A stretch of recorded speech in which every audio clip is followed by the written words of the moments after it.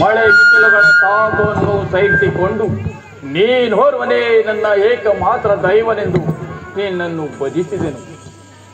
ಹೇ ನಿತ್ಯ ನಿರಂಜನ ಮೂರ್ತಿಯೇ, ನನಗೊಂದು ಕಾಮ್ಯಾರ್ಥದ ಫಲವನ್ನು ಕರುಣಿಸು.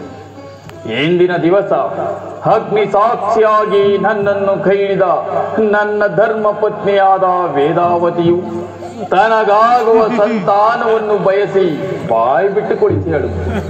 ಬಾ ಎನ್ನ ದೇವ ಬರಬಾರದೆಂದು ಮರೆಯಾಗಿಲ್ಲಿನ ಬೇಡ ಕೈಲಾಸಾದ್ರಿಯಲ್ಲಿ.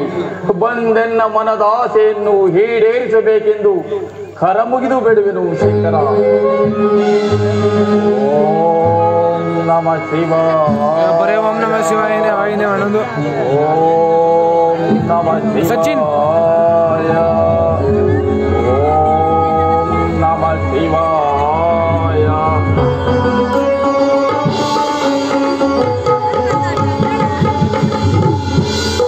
ನಿನಗೆ ಮಂಗಳವಾಗಲಿ ದಕ್ಷ ಬ್ರಹ್ಮ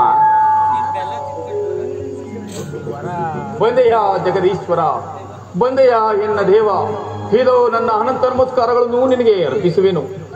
ಮೇಲೆ ಹೇಳು ದಕ್ಷ ಬ್ರಹ್ಮ ನನ್ನನ್ನ ಭಜಿಸಲು ಕಾರಣವೇನು ಪರಮೇಶ್ವರ, ಸಂತಾನ ಭಾಗ್ಯವಿಲ್ಲದೆ ಹಂಬಲಿಸುತ್ತಿದ್ದೇನೆ.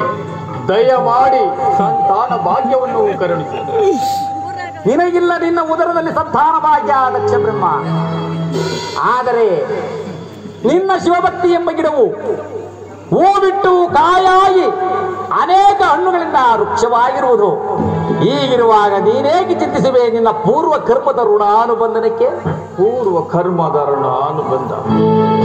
ಪೂರ್ವ ಕರ್ಮದ ಋಣಾನುಬಂಧ. ಎಲ್ಲಿಂದ ಬಂತು ದೇವ ನಿನ್ನನ್ನು ನೋಡಿದ ಮೇಲೆ ಪೂರ್ವ ಕರ್ಮದ ಋಣಾನುಬಂಧ.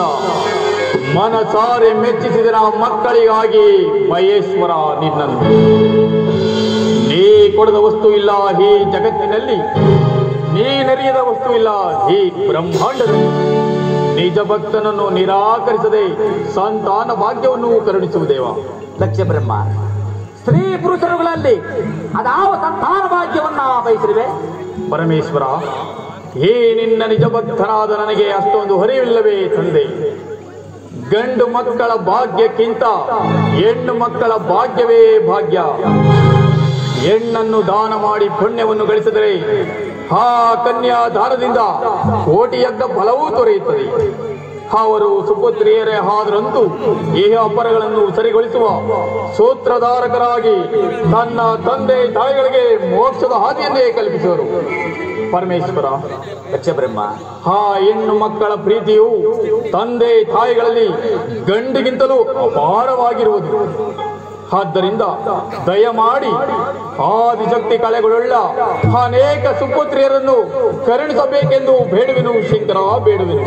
ನಿನ್ನ ವಿವೇಕಕ್ಕೆ ಮೆಚ್ಚಿದಿರುವ ದಕ್ಷ ಬ್ರಹ್ಮ. ಯಾವ ಸುರಗಂಧರ್ವರ ಸುರಭೂಮಿಯಲ್ಲಿ ಪುತ್ರಿಯರ ವಾತ್ಸಲ್ಯವೆಂಬ ಒಂದು ಪವಿತ್ರವಾದ ಧರ್ಮವನ್ನ ನೀನೇ ಭಾಗ್ಯಶಾಲಿಯು.